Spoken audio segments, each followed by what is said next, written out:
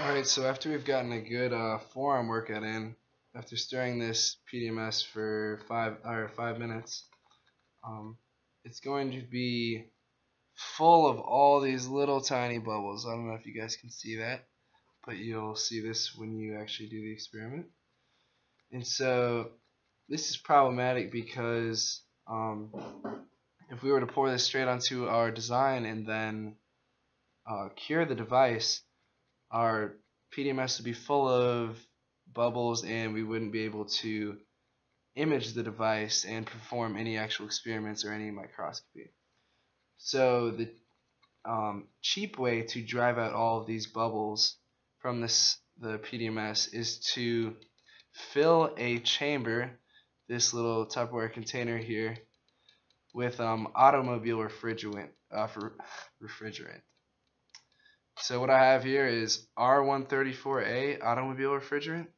This stuff right here, and the way this is going to work is it's going to actually drive out the bubbles from the um, from the PDMS because it is more dense than air. And so when I fill this chamber with refrigerant and then place my um, PDMS inside there for 15 minutes, it'll drive, it'll displace the air bubbles in the PDMS and the, air will diffuse out, leaving me a completely um, bubble-free PDMS mixture.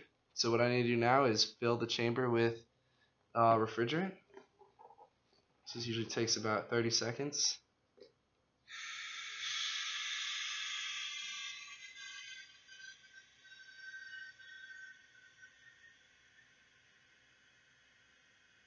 You can tell um, how full the chamber is getting by the pitch of the um, air coming out of there.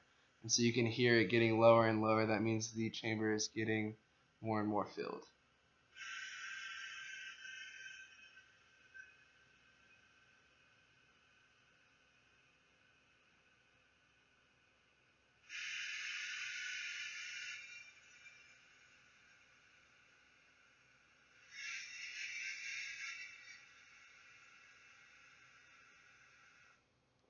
So I'm going to go ahead and place my PDMS in there.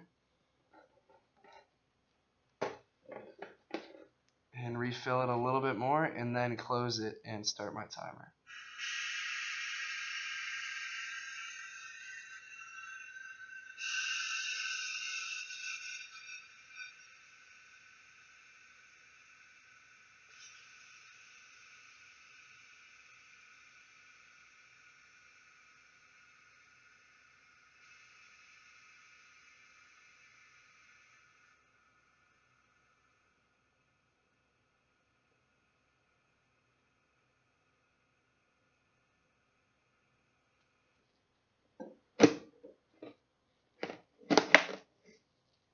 I'll start my timer for 15 minutes, and in 15 minutes, all the bubbles will be driven out of my PDMS, and then I'll be able to pour it onto my designs and cure it in the oven.